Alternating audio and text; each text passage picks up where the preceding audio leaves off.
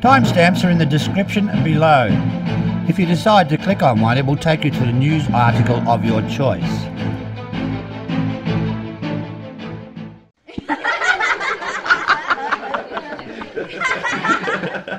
Hello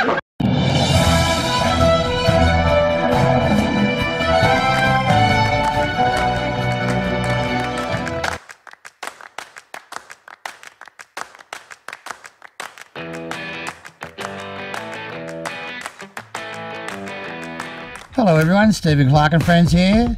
Good morning, good afternoon and good evening, no matter where you are. So what have we got today? Half price for the Chevy Captiva in Thailand leaves early buyers fuming. Five suspects insurgents killed in southern Thailand.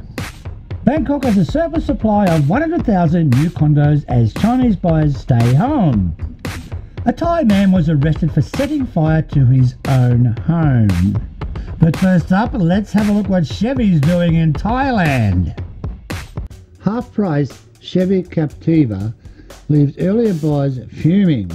Customers who paid full price for the Chevy Captiva, nearly 1 million Thai baht, and now Chevy has reduced the price on special for 499 or 500,000 baht if you like, which is half price. About 100 Thai customers are absolutely fuming. They are demanding some type of compensation from General Motors. General Motors is ending production of its sales of Chevrolet models and selling its factories in Rayong to Chinese Great Wall Motors. The Chinese owned Great Wall Motors is here to save the day. Oh, hang on, hang on. No, they're not going to employ anybody. It's going to be all Chinese, I guess. Yes, sadly, 1,000 employees will lose their jobs in Rayong as the factory merges over to the Great Wall Motor Company of China. Anyway, back to the customers who bought the new Captiva when it was launched in September. And the massive discount offered now has put these cars at, well, basically useless. The resale value is just plummeted and it has also impacted on insurance renewals. The disgruntled customers want compensation measurements, including the 500,000 Thai baht price difference, or else be allowed to cancel their purchase contract. The outgoing business sale is unfair, the customers are complaining. There is also doubt about the credibility of their promise to keep providing after sales service once sales operations end in Thailand. The disgruntled customers also want legally binding bumper to bumper factory warranties in writing covering three years or 100,000 kilometres worth of garage work, parts and any manufacturing defects after GM pulls out of Thailand. Some people suspect that the Thai affiliate must have known earlier about the US parent company's imminent plan to cease operations and yet didn't notify customers about it. If so, they could be in violation of retail disclosure laws. The group further called on Chevrolet Thailand to clarify issues regarding insurance and premiums renewals. Five suspected southern insurgents were shot dead by security forces on a mountain in Chao Arang, district of Thailand's southern border province of Narathiwat on Sunday. The security forces also seized five M16 assault rifles, one HK rifle, and some supplies from the location on the mountain. Military sources said that security forces were in pursuit of the insurgents after they were spotted by roadblocks set up by the paramilitary rangers in Village 8 to check all passing vehicles for insurgents. Meanwhile, police and troops in Narathiwat have been put on alert as precaution against possible revenge attacks. Bangkok has a surplus supply of 100,000 new condos as Chinese buyers stay at home with their sneezing problem.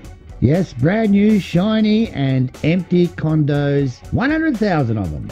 The Bangkok condo market is facing its biggest challenge in decades. The capital's condo market was once a favourite for Chinese investors. It looks like a bleak market for 2020 as the Chinese investors have other things to worry about. Simply put, the coronavirus. And unable to travel to Thailand due to the coronavirus as well. Chinese buyers used to provide the largest proportion of overseas interests, but are now limited in their travel options and their economic havoc inside their own country. Even before the coronavirus outbreak, foreign interest was flagging as the outlook for the economy reliant on trade and tourism deteriorated amid currency strength in 2019 and the US-China trade war. So if you want a cheap condo, head for Thailand. I think now would be a great time to buy. Hello there. If you are watching these videos, could you please help us out and push the subscribe button or click on the subscribe button if you like? It helps us out a hell of a lot. Be most appreciated. And now back to the video.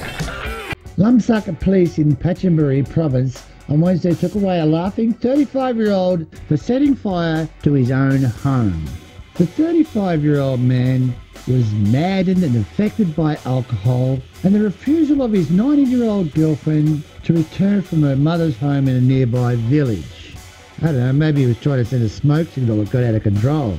The Thai man was taken from the scene as his home was on fire, laughing his head off. It is believed the 35 year old man committed the act because his younger girlfriend had left him earlier that morning. Yes, the 35 year old man had burnt his house to the ground, and police arrested him and took him away when he was laughing his head off, sitting in the back of a pickup. The man was arrested and taken into custody for his own safety. It is believed what sparked the incident was the man going after the 19 year old woman, begging her to come back, but she had complained about his drinking and did not feel safe with the man. Police are expecting to hold the man until he sobers up. Then they will have the man evaluated and his mental health. Under Thai mental health provisions, which gives senior police officers the power to order individuals sent to the Psychiatric Institute for periods of evaluation. This is just another case of lethal combination of alcohol and love. 78 year old UK man and his elderly 67 year old Thai wife in an early hours bloody knife duel to the death. Pattaya police are investigating the incident, which saw them arrive at an apartment to find blood splattered everywhere. Police officers took both married partners into custody.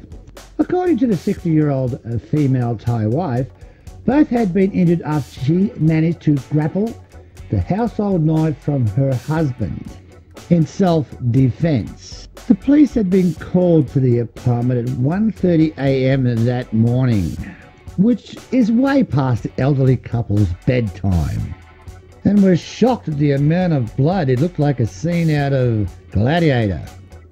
There they found the 78-year-old Charles Radcliffe bleeding profusely with cuts to his head while his 67 year old Thai wife was also found to be injured with slashes to both her hands. The 67 year old Thai wife told police that her husband's temper had exploded and that he had attacked her. The 67 year old Thai wife gave officials a full account of what had happened.